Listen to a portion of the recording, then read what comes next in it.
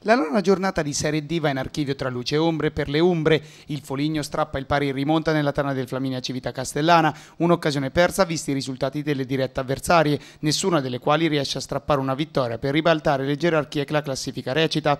I Falchetti passano in svantaggio con un pizzico di sfortuna vista l'autorete di Adamo, salvo poi pareggiare i conti nel secondo tempo con l'ex Pierantonio Davino, bravo a spingere in rete un pallone dopo una deviazione di mano della barriera su punizione di Galbiati. Sul cammino dei Falchetti ci si mette anche la cattiva sorte con l'ex Vigor Lamezia Lorenzo Brescia che coglie la traversa a metà del secondo tempo.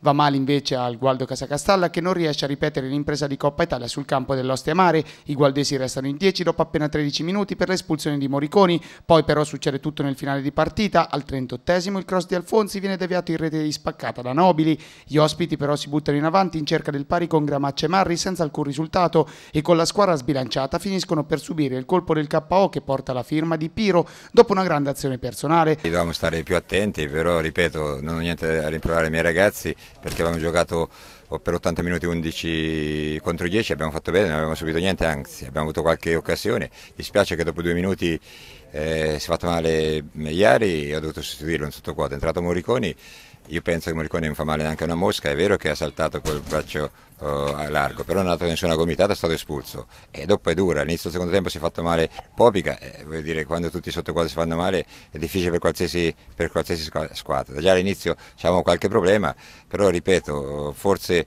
Eh, sul primo gol dovevamo stare un pochino più attenti, però bisogna mettere anche in atto che lo Stemare è una ottima squadra anche se ripeto oggi non abbiamo preso nessun tiro in porta fino al 96esimo. Strappa un buon punto il Trestina in casa del Fiesole grazie alla rete su rigore di Mancini, pareggio anche per il San Sepolcro in casa contro lo Scandicci, altro X lo regala il Bastia Montemurlo mentre affonda ancora la Ponte Vecchio superata tra le mura amiche dall'Olimpia Colligiana. Completano il quadro la vittoria esterna per 3-2 della Narnese sul Deruta, l'1-1 tra Pianese e Arezzo e il 2-2 tra Spoleto e Pistoiese per una classifica che nei quartieri nobili resta invariata con Pianese in testa a 21 punti, il Foligno che insegue a 18, il Bastia che sale a 12 punti, appena uno in più del Trestina nono. Nella parte bassa ci sono invece il San Sepolcro a 9 e il Gualdo Casacastalda a 8 punti. Chiude in ultima posizione la Ponte Vecchio con 4 punti.